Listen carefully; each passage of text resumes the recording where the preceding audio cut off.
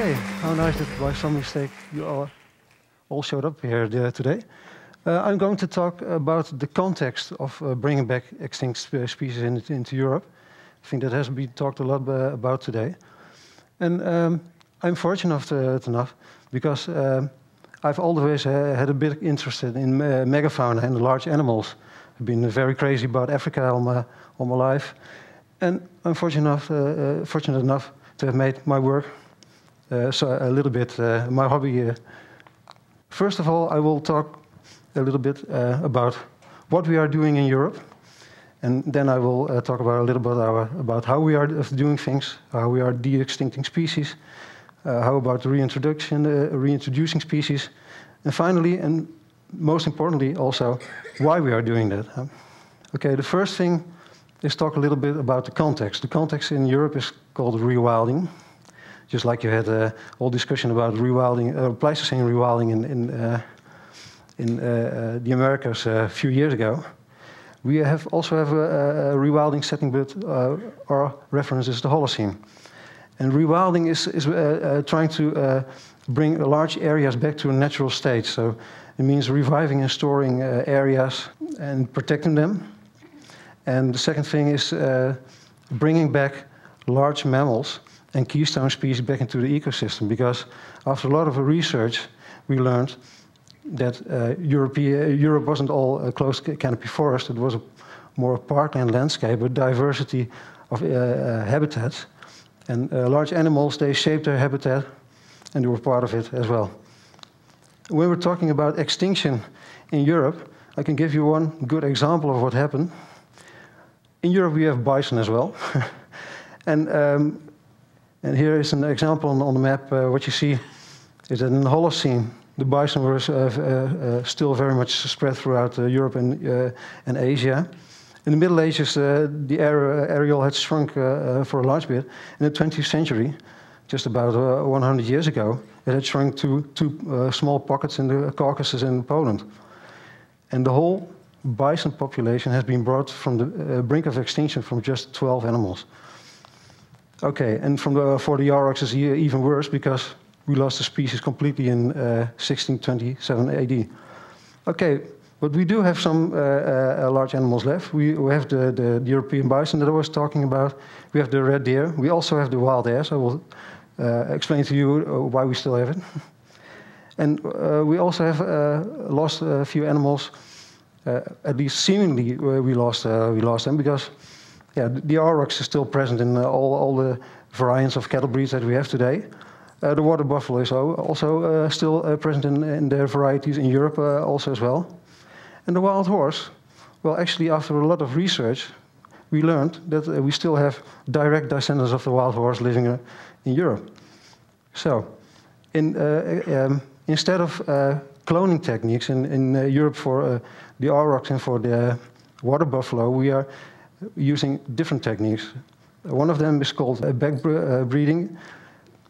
That means that you uh, selectively uh, breed all, uh, the, known traits of a certain animal into one animal breed. And the other one is uh, selection. I mean, for the wild horses, it was uh, perfect because uh, after a lot of study of archaeology, historical records, genetic studies, we learned that we actually have some horse ecotypes that are directly related to uh, ancient wild horse uh, populations. So at least on pa paper, that means the, the extinction as well. And the same goes for the wild ass that uh, is now living in Asia. We learned that the uh, European wild ass genetically fully clusters within ancient and present day uh, Asiatic wild ass. So essentially, we're talking about the same species. So, in another fact, it means that the European taxon is extinct as well because it never existed, uh, existed as such. Okay, so how do we get a knowledge? We have, uh, we try to uh, bring together a lot of scientific disciplines, like uh, um, historical records. We still have, from the aurochs, we have a lot of historical records from uh, the Middle Ages, still talking about behavior, talking about their, uh, what they looked like, what they ate like, what their interaction was with other animals, with humans. We have isotope studies from bones, so we know what they ate, and what kind of environment they lived in. We have archaeology, so we can reconstruct their skeletons and the way they looked. Uh, we have uh, historical pictures, we have cave paintings, we have cave art, and we also have people studying the for about 15 years, like Cis van Vuure. Okay, so how this uh, backbreeding work? Um, from all the knowledge we gathered from all the sources, we uh, set up a, a list of uh, selection criteria, and um, we um, researched a lot of uh, old primitive cattle breeds that uh, we still have in Europe. Uh, they live feral, they're used to wolf predation, etc. And um, we brought all those cattle breeds we're trying to bring together crossbreeding them, and then um, try to bring all the uh, characteristics of the aurochs back into one animal breed. And here you have some examples like uh, Maronesa coming from northern Portugal, uh, which are uh, the calves are killed by wolves every year. There's some Maremmanos from uh, Italy. You have Limia from, from Spain. And of course, the crossbreds running around as well. So uh, with every generation, we try to come closer to the original aurochs. Okay, the program in action is very simple. Um, uh, we uh, we uh, do uh, artificial insemination, and it's also a practical thing because uh, sometimes you're talking about cattle breeds that are so rare that the only thing we can get our hands on is, is stored semen, uh, for instance. And we can also create embryos. you can make crossbred embryos and place them into low productive Holstein cows.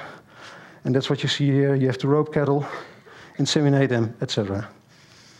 Okay, and um, uh, when we are going to reintroduce animals, we have a, what we call a spatial strategy. I mean, this slide has a lot of text on it, but the uh, simplified the story goes, you start in a small nature reserve where you can control the animals, where you can do your artificial insemination, embryo transplantation. Uh, you can uh, uh do, do, heavy uh, selection on uh, unwanted and wanted animals. Uh, then you uh, move the fences so the uh, areas get bigger. You let go of the artificial insemination. Natural breeding starts occurring. You try to build up social herds. Uh, the, so it, could mean that you have to take a lead cow by the hand, show her where the water holes uh, are, etc. They have to get a knowledge of the terrain, etc. And then in large areas, I mean, then we're talking about the really large wild areas, you can let go. Maybe a little bit of a selection, because of, uh, you will see, at least the first 10 generations, you will, see that domestication marks will pop up uh, uh, everywhere in the herd. But okay, those can be eradicated by selection, and then it's hands off. And the second thing you need to do is that uh, we are not only creating individuals, we also try to uh, create uh, populations, that means social herds, like I just uh, told, told you. They have to interact with their ecosystem. They have to be taught certain things. And eventually, uh, yeah, uh, they will be assimilated into the ecosystem and interact with the eco ecosystem and also form their own ecosystem. Okay, and then reintroduction into practice. Well, these are, I think, two nice images. One of them is releasing Sayagesa cattle into the Campanarios reserve in Spain, uh, where, where, we just uh, started a new herd. And the second thing is, uh, I think this is releasing bison into, the Caucasus. That's how we do it. Okay, and why, why do, do we do it? Okay, the intrinsic value is, of course, uh, uh, we uh, killed off a lot of animals. I mean, especially for the re recently extinct uh, animals like the aurochs. They have been killed off by animals, by humans, uh, because of uh, habitat loss, because of uh, hunting, etc. And what we try to do is build a complete eco ecosystem. And like I just explained to you, herbivores were essential in shaping that ecosystem and uh, other species benefit from that as well. I mean, it opens up forests. You get uh, uh, more flowering bush species, which means that you get more insects, more bird life, etc., and, and a, a, bigger diversity of plant life. But the extrinsic value is that um, the traditional method of uh, um, caring for uh, natural resource in Europe is by mowing and uh, uh clipping, etc., which is, of course, in my opinion, is not nature, uh, of course, but it's, it's also financially not attractive to, uh, for governments to do anymore, especially not in these economically hard times. So that's uh, why we say wildlife is capital. Why not uh, transplant the, uh, the idea that they have in Africa of maintaining uh, uh, ecosystems into Europe, which means that you set up uh, eco-tourism, you set up safari tourism. What we're also missing in Europe is some kind of lazy kind of ecotourism. If you want to see a wildlife now in a in, in, Europe, you need to climb mountains and hopefully you get a glimpse of a red deer or something like that. We need to restore animal populations to their natural densities, which in effect uh, means that you will get the same densities uh, like you have on the Serengeti like now. I mean, that, that has all been researched. And um, uh, if you get big uh, animal populations, then uh, people will start to uh, make safaris, etc. And that's the, the second thing that you need to do, set up safari-based tourism and the whole touristic infrastructure that you need to, uh, to, uh, to, to, facilitate the people. Okay, and then I have a, few uh, future uh, images, maybe. The, this, the Danube Delta, you know, in Romania, where uh, oh, the big uh, Danube, it, it ends up in the Black Sea. You have a big delta, and just imagine seeing uh, herds of uh, uh, wild water buffalo and red deer and wild horses. I mean, it would be fantastic. I mean, now it's depleted of wildlife almost, at least seeable wildlife. And here you could have the large herds back. And another one would be the park-like uh, landscapes, like I just talked about. I mean, this actually is uh, Nature Reserve, where we started our first uh, Tauros uh, breeding herd. And uh, you have wild horses and uh, wild cattle. The, the, thing that you do not see is, uh, is, is a red deer and, and roe deer and other animals.